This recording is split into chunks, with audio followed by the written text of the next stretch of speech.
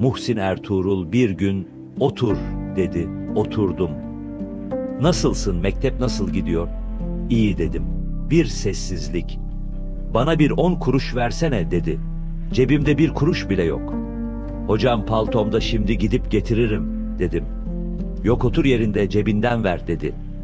Sustuğumu görünce peki beş kuruş çıkar dedi. O da yok.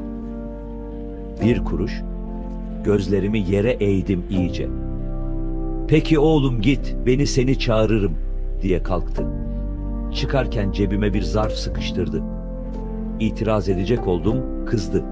Çıktım dışarı, açtım zarfı, içinde tam 50 lira. Bayılmak üzereyim. Dönüp kapıyı çaldım, geri vermeye kalktım, almadı. Sen al onu, ben senin aylığından keserim dedi. Bilse benim aylığım 12 lira.